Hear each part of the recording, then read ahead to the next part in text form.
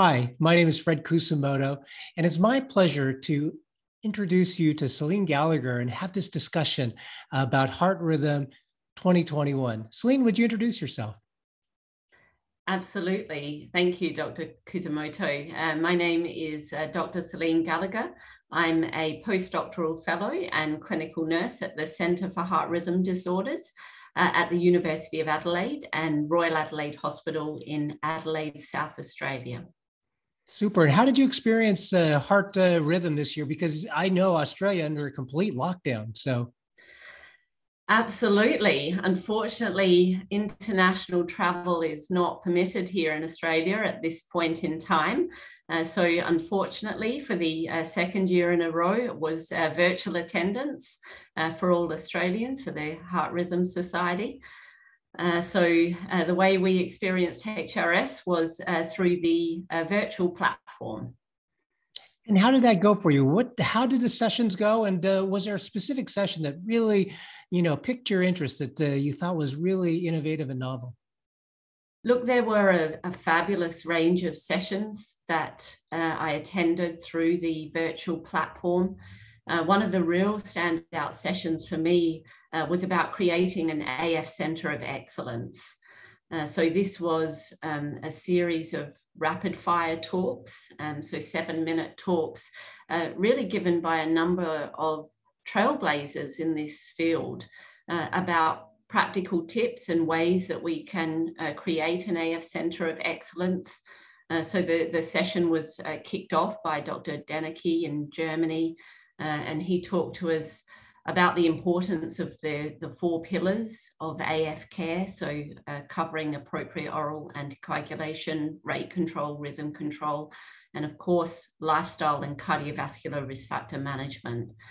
Uh, so he highlighted the importance of identifying the pillars that you want to address uh, in terms of creating an AF Centre of Excellence, and then spoke to some of the uh, ways that they're looking to address this in Germany. So, um, for example, they have um, an accreditation for AF ablation centres. Uh, they have a program, uh, Action Atrial Fibrillation, which looks at standardising care from diagnosis to treatment. So, this was a, a really exciting talk.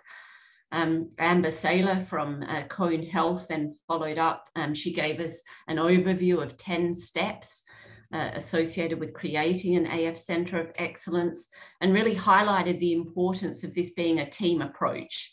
So we can't manage uh, AF by one healthcare professional alone. I think we've all come to appreciate that in recent years. Um, the importance of buy-in uh, from uh, lots of different uh, departments and team members, uh, creating goals, evaluating progress, uh, and then looking at new ways that we can continue to enhance care and, and share our success with other centres along the way.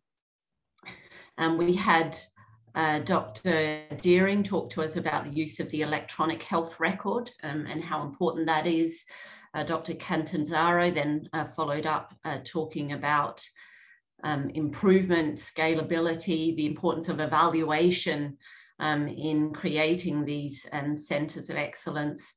Uh, and then Dr. Tung uh, talked to us about the importance of uh, the sleep physician in the role of managing atrial fibrillation. So, really comprehensive, diverse range of talks, very practical tips about how uh, we can uh, create AF centres of excellence. And we certainly need to be uh, collaborating more and sharing our successes and challenges in setting up these centres.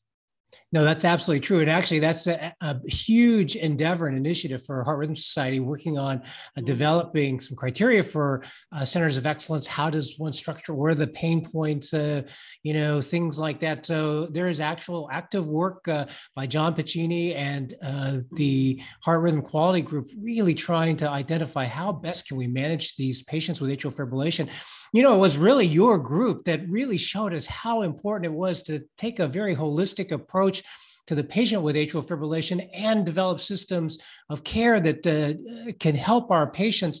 What were the pain points? Can give us a little bit of your experience in Adelaide. Tell us a little bit about, you know, sort of what worked, what were the pain points, what doesn't work. Go ahead. I know everyone would love to hear. Absolutely. Um, we've certainly learned a lot along the way.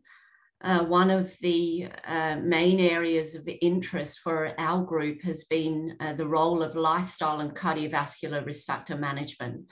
Uh, and I think a number of studies that we have undertaken have really become integrated into standard AF care uh, because we've highlighted the importance of uh, this in, in managing atrial fibrillation. But yes, we've learned a lot along the way. So um, we started out uh, delivering these programs in a, a physician only led clinic. And over time, um, we've come to appreciate that, in fact, nurses and allied health uh, are also effective at delivering these uh, programs. Um, so that was an important lesson for us and perhaps uh, enhances the um, translatability and applicability of these models uh, so that these can be uh, easily implemented around the world. Um, we've also uh, looked at uh, integrated care models uh, and the importance of the uh, multidisciplinary team. And I think really one of the um, biggest challenges in um, setting up these clinics is uh, really getting buy-in from mm. our administrators um, and from uh, the uh, management teams that surround us. Uh, and uh, you know, to, in order to be able to do that, we need to continue to prove the efficacy of these models. So you, you know, we've had a number of studies now that have shown uh, how efficacious they are. Um, you know, certainly uh, Dr. Allred in, in another one of his sessions in Cone Health, uh, they've demonstrated the cost effectiveness of these uh, AF centres of excellence and models of care that really use this integrated care approach. But we need to continue building the evidence so we can get buy in and convince our administrators and managers that this really is the most effective way to deliver AF care. Um, so I think these are the challenges that, that lie ahead for us. And, you know, the widespread rollout of such models is really important. Uh, and I think as uh, centres of excellence, we need to be sharing what we've learned with um, centres that are trying to get these models up and running. Yeah, you know, your experience is so helpful, right? Because you know, taking care of patients really does take a village. Each of us with our own areas of expertise, whether it be, you know, thinking about exercise or weight management, uh, uh, nurses, uh, allied uh, professionals, advanced practice professionals, the whole gamut, right? Including administrators to understand that thinking about systems of care overall, right? I mean, this is how we're going to best manage patients. I couldn't agree with you more. And I'm so excited that this is how our sort of world is going because I do think that this will really benefit the patient. Absolutely. I couldn't agree more. And, uh, you know, I also think that this has broader application beyond atrial fibrillation. You know, I do see this as a model um, that we could apply to many other chronic cardiovascular conditions or indeed chronic conditions in general. So I think this has really widespread applicability and translatability. Yeah, I think that that's a great point. Well, we need to end uh, here, Celine. I just want to also just give you my personal thanks for being one of our pace setters. For those of you in the audience, as it were, who don't know, our pace setters group is a group like Celine who, you know, work hard on social media to really get this message out. Because, you know, it's one thing to talk to the people who are within our space, uh, et cetera, but it's also important to get our message out, as you point out, Celine, to all members of the medical field uh, and the medical profession, and those who wouldn't even be thought of as traditionally in the medical field, and of course, our patients. Thank you so much. Thank you. It was certainly a privilege and an honor to be a pace setter this year. Thank you for the opportunity.